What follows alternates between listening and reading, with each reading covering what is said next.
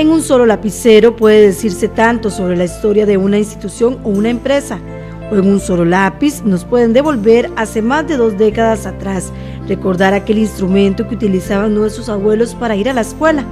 Era 1980, esos lápices eran muy comunes verlos. Pero hoy, 2017, ya no salen este tipo. Sin embargo, gracias a personas como José Luis González, tenemos la oportunidad de conocer más de esa historia. Él es nuestro invitado en nuestra sección de arte y cultura.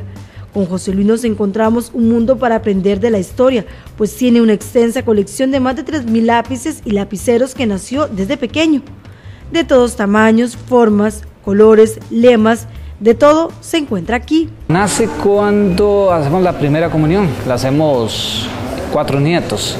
Entonces mi abuela le regala un lápiz a cada, a cada nieto y de ahí eh, lo guardé. Y, después, bueno, la historia es que más bien mamá lo usó eh, para hacer algo de costura, no sé, molde o no sé qué. Y entonces eh, seguro yo le peleé y, en una que papá fue a San José, mamá mandó a traer otros como para recompensar y me trajo un sobrecito donde venían cuatro. Y, y me dio lástima empezarlos, entonces de ahí nació.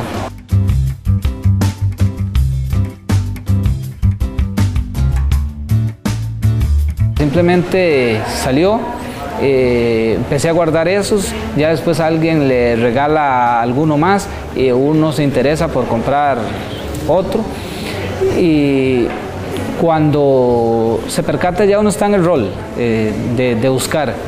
Eh, cuando inicio simplemente los guardo, no es con, la idea de coleccionar. La, colección se da cuando uno se percata que ya hay varios.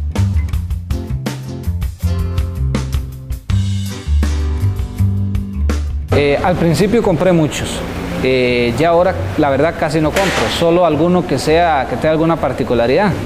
Eh, los demás me los consiguen. Lo que es de publicidad tengo una buena cantidad, deben haber cercanos de unos mil de publicidad de distintos negocios y otra cantidad que me han traído de otros países para, exclusivamente para la colección.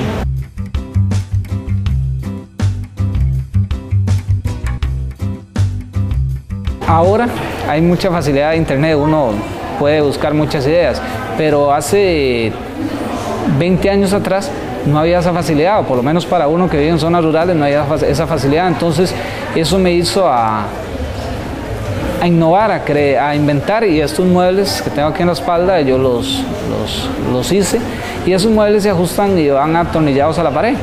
Entonces de esa forma es fácil mantenerlos, no, no da mucho problema. En un lugar que no tenga humedad ni que le pegue el sol y básicamente ahí un cariño de vez en cuando, una limpieza y ahí va. ¿Qué le dicen las personas al ver su colección? Eh, generalmente la gente le dice a uno que vago estar en eso y, muchas veces creí que sí, que era una vagancia. Después me di cuenta que no, de vagancia no tiene nada. Para que usted se haga una idea, eh, colocar esta exhibición así eh, tiene sus 10, 12 horas de trabajo por ser de pieza en pieza. Sus conocidos le regalan más porque quieren mantener una historia a través de la tinta.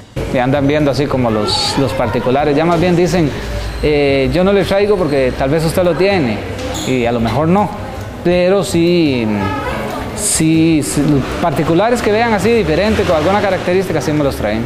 ¿Se siente satisfecho con, este hobby? Hasta ahora, hasta ahora, porque veo que ya las casas comerciales no están haciendo.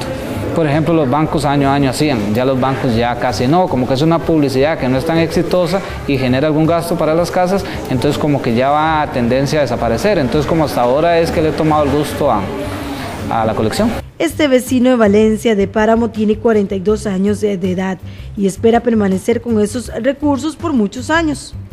Hasta donde Dios quiera y hasta donde sigan apareciendo. ¿Y la herencia para quién? Eh, siempre lo dije, tengo tres hijos quien veo que se gane el, derecho a que los conserve, porque no es solo tenerlos ahí, es, cuidarlos y conservarlos. Entonces, la moneda está en el aire, habría que ver cuándo cae. 25 de noviembre de 1983. Para usted puede ser que no sea una fecha muy importante, pero para José Luis fue cuando empezó a guardar toda la historia por medio de cientos de lápices y lapiceros.